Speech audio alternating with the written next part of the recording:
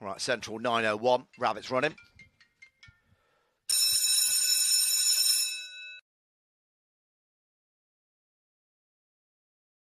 Right, Central Park for the 901 here. Then comes the bunny, and away they go. And out wide, then uh, the six dog jumps away well. That's uh, Casa Amor. Run on King in the far number. Franco Jessica uh, trying to nip through on the inside. Then is uh, Renova. They've gone past halfway. Three will lead them by a neck from uh, Run on King. And then we've got uh, Casa Amor just in advance of Jean Genie. Uh, Franco Jessica, the favourite's got plenty on from there. The one that sits in a tail is Marfield Kelly. X in the back straight. almost 4 4 taking a tumble. Nasty one as well. It's real rough race on top. Here comes 3 2. Six or so lashing out, but three's just got there. A win for Renova.